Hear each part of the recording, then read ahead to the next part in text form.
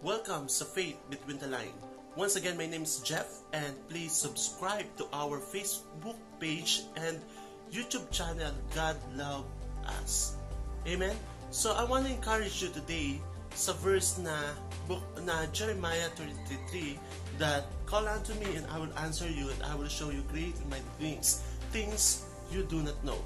God is faithful and and His mind is beyond our expectation. His work is beyond our plan. Jeremiah 33:3 speaks about the faithfulness and the power of God sa buhay natin. God said, "Call unto me and I will answer you." Ito po'y promise ni God sa atin.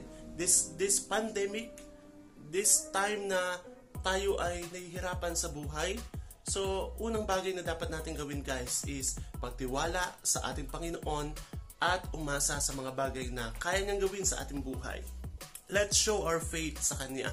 No?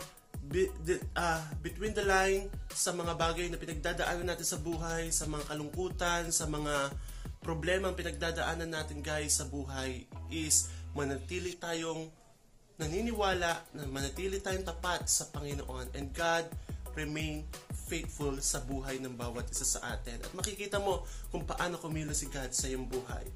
Maraming salamat at patuloy kang maging matatag sa iyong pananampalataya. Sometimes we don't understand kung ano yung mga bagay na nangyayari sa buhay natin. Sometimes we don't understand yung mga uh, resulta ng mga bagay na pinagpapagalan natin. But then, ang gusto ni Lord ay magtiwala tayo sa Kanya. Pagtiwala na, pagtiwalaan natin ang Kanyang puso. Kung hindi natin, kagaya nga ng sinasabi ko lagi, kung hindi natin maintindihan ang paggalaw ng kamay ng Diyos, ang isang bagay na dapat natin gawin guys ay magtiwala sa kung anong klaseng puso meron ang Diyos. Kaya guys, salamat sa panonood at patuloy kayong mag-subscribe sa ating YouTube channel, God Love Us, and don't forget also to like my personal Facebook page na Jerome Marisigan. Type nyo lamang po sa search bar ninyo, Jerome Marisigan, makikita nyo na po ang aking mga videos na nakaka-encourage sa atin. Nang sa ganun ay patuloy tayong lumagaw sa pananampalataya At the same time, ay patuloy tayo maging mabuting mananampalataya. Maraming salamat and God bless.